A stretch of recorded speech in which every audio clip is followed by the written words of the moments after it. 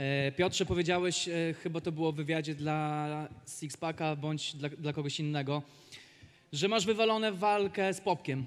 E, Powiedz mi czemu, bo mi się wydaje, że Popek to jest też taki idealny kandydat na walkę o pas, a wiem, że to ciebie bardzo mocno interesowało. Co się wydarzyło, że masz wywalone na walkę z Popkiem? Interesowało mnie to dokładnie. Witam wszystkich. Interesowało mnie to, bo wcześniej miała być walka moja z Popkiem.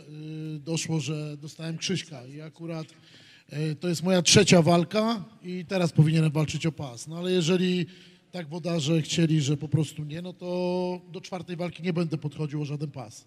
A nie traktowałeś tego jako trochę ujma, że mając 2-0, będąc, wiesz, na topie dywizji ciężkiej w organizacji, walczysz z debiutantem? No w pewnym stopniu tak, tylko że tutaj akurat mówię, no ja miałem jakby tak powiedzmy, no wiadomo, słownie to można sobie dużo mówić, tak, że miał być Popek, miał być, no ale wiadomo, tu miał jedną kontuzję, tu coś i tak dalej, więc no jest Krzysiek i z Krzyśkiem mam y, zamiar zrobić zajebistą walkę, myślę, że to będzie lepsza walka niż z Popkiem. Bo na pewno Krzysiek podchodzi bardzo sportowo do tej walki. Myślę, że będzie rozpierdol w ringu. No, ja byłem w Ankosie, e, robiliśmy nawet z Krzysztofem wywiad, widziałem dwa treningi i, i chyba tam były zapasy i stójka.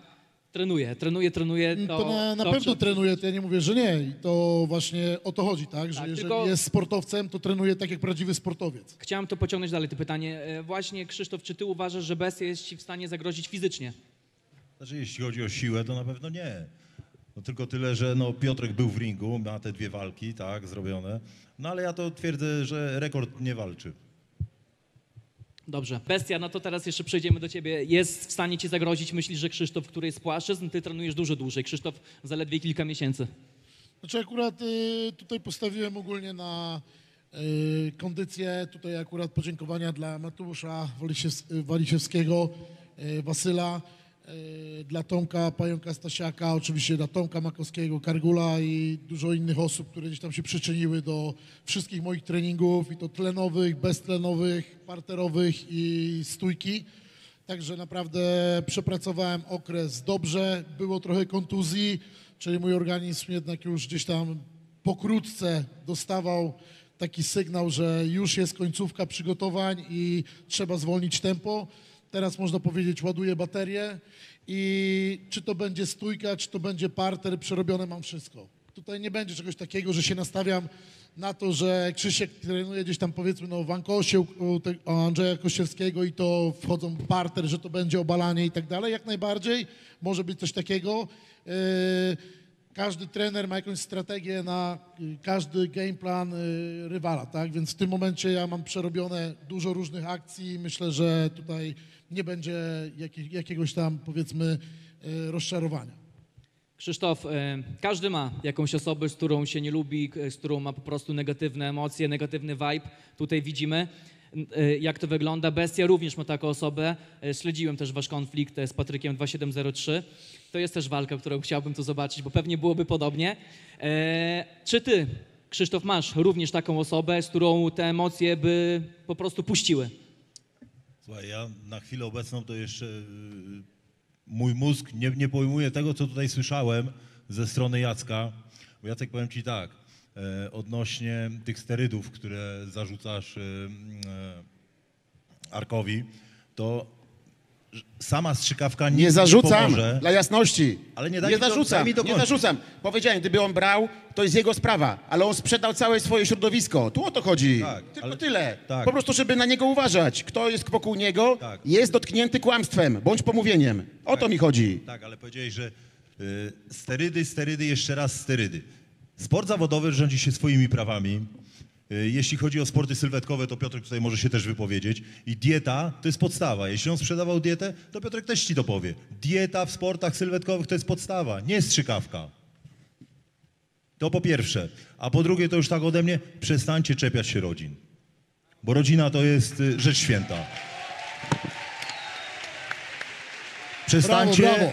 bo słyszałem, słyszałem ostatnio y, twój, oglądałem na YouTubie twój wywiad z Marcinem Najmanem. No strasznie słabe było te ślepaki, bo teraz co czuje ta jego córka? To po pierwsze, a po drugie tutaj no też Arka Matki się czepiać. A moja, Słabe. żona, a moja żona to jest moja rodzina? No pewnie, że No tak. właśnie. Została na jego mediach nazwana pedofilką i zbrodniarką. Chłopie, bronię. Która sprzedawała dzieci Bronię, podobno na, na organy. Która sprzedawała, tak, to jest na jego mediach. Przez Konrada Niewolskiego upublicznione, no. Więc, wiesz, nie... Człowieku, kto ale ty pierdolisz, e, mitomanie. Niech każdy pobacz, kto pierwszy rzucił kamieniem. Więc No tak, ale to jak on powie, on powie, że to jest, y, nie wiem, że twoja żona jest taka i taka, to ty musisz odbić piłeczkę i powiedzieć coś o jego matce? No podnieś łapy E, do gdzie góry, idź do niego, jak go zobaczysz i tyle, no. skończę wątek. Ja powiedziałem, że z racji przyjaźni z bratem Lucyfera, z Konradem Niewolskim, może powinien zorganizować w Tomaszkowicach seanse spirytualistyczne. Ja nie wiem, ale powiem ci, że gdyby to tyczyło mojej mamy, Ale co To- tu jest o mamie? Bo on, nad, on nadinpre, nadinterpretuje. To uderz w stół, nożyce się odezwą. To jest Zle- jego projekcja. On usłyszał to, co chciał usłyszeć, a nie to, co ja powiedziałem. Tyle. To jest, jego, to jest jego projekcja, to są jego demony. Nic mi do tego. Ja żartobliwie powiedziałem, żeby z bratem Lucyfera spirytualistyczne, wiesz, to wywoływanie duchów. Skoro jest brat Lucyfera, ma dostęp do zaświatów, no to skoro są w takiej y, komitywie, to niech, niech kręcą film o seansach spirytualistycznych. Spirytualizm. A to, jak on to odebrał, to jest jego sprawa. Uderz w stół, Tyle. Noż- Nożyce same się odezwą. Się odezwały. Nic mi do jego spraw. Tyle. nie wiem, nie, nie, ku- nie kumam tego, co mówisz, ja tylko uważam tak, gdyby to poszło do, o moją matkę, to Nikola z chłopakami nie byłby w stanie mnie zatrzymać, no. A teraz y, proszę powtórz pytanie odnośnie walki. Czy masz jakieś swoje nemezis, z kim chciałbyś się zmierzyć i z kim również byś wywołał takie emocje, jak właśnie tutaj panowie przy stole? A no to nie wiem, no kogo dadzą, to trzeba będzie coś tam robić, no. Czyli większego konfliktu nie ma. Słuchaj, tu nie chodzi o konflikt, tu chodzi o dobrą walkę. Tak? Zawsze, ja zawsze sobie stawiam cele. Dzisiaj jest cel taki, później jest cel taki, taki, taki. Chciałbym iść do tej najwyższych celów.